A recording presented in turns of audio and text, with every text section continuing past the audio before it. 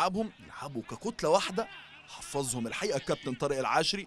كان ريا ناحية اليمين اللي هي أحمد هاني واحد ضد واحد المرة دي مع عزمي جومه لكن الضغط من شكري نجيب المساندة الدفاعية. لكن يا سلام يا هاني يلعب في المساحة. لميدو جابر هات وخد بدون تسلل. عرضية أرضية. خطوره يضيع المرة دي عنتر. مش ممكن. عرضية أرضية برازيلية يلعبها أحمد هاني.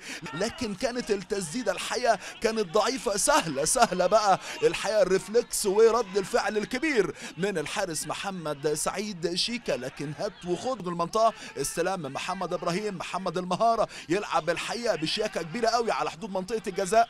هاني. من ناحية اليمين لميدو جابر واحد ضد واحد مع بحراوي أدي ميدو عدل نفسه ولف العرضية. مش ممكن. عرضية ومحمد عنتر يضيع. بالحتة اليمين باسمه يلعب عرضية. منتهى الخطورة بالمزوره وبوش رجليه بقى. يلعبها محمد عنتر. يا راجل لو ببطن رجليك أكيد أكيد داخل الشباك. لكن إيه؟ مش ممكن. عنتر يضيع فرصة جول على نادي سيراميكا كليوباترا لكن ميدو جابر بقى مكمن مكمن الخطورة ومفتاح اللعب المهم من ناحية اليمين كان الحقيقة متفوق بشكل كبير.